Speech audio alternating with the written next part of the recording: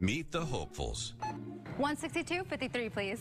We went over budget again. I use Flipp to stay on budget. You make a list, and it shows you weekly flyers and coupons in your area. And the best part is, it's free. Download the app today.